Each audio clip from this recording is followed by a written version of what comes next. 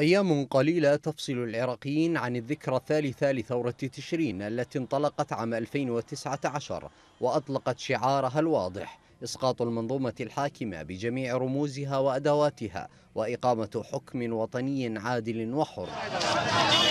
لكن القمع الذي مارسته القوات الحكومية والميليشيات فضلا عن الأوضاع الإقليمية والدولية آنذاك وجائحة كورونا شكلت عقبات أمام الثورة. وجعلتها تمر بمراحل متباينة بين الفتور والقوة إلا أنها رغم كل العقبات لم تسلم الراية بل على العكس تماما اكتسب شباب الثورة خبرة في التعامل مع المستجدات ونضج الوعي السياسي أكثر وانفضح إجرام الميليشيات وفشل الحكومة.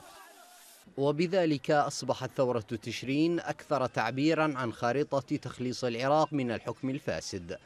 وقبل حلول الذكرى الثالثة لانطلاق ثورة تشرين تشهد بغداد انتشارا أمنيا مكثفا ونصب نقاط تفتيش جديدة للجيش والشرطة فيما انتشرت مفارز من جهاز مكافحة الإرهاب وسط تساؤلات من قبل المواطنين عن سبب تلك الإجراءات غير المفهومة لغاية الآن.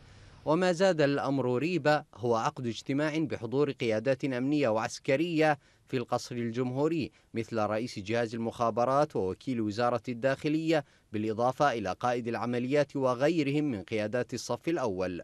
وينظر كثير من المراقبين إلى التحركات الأمنية الأخيرة بوصفها استعدادات مبكرة لمواجهة ما يمكن أن ينفجر في أي لحظة في ظل الاحتقان على الواقع السياسي المتأزم منذ أشهر طويلة.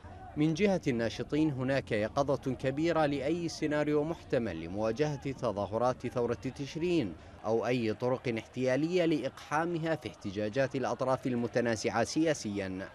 ثلاث سنوات من الثورة واجه فيها المتظاهرون كل مخططات إخمادها وكانت كافية لأن يتعلم المتظاهرون كيفية تحقيق أهدافهم في إسقاط العملية السياسية مهما امتد عمرها. Silvia! Silvia!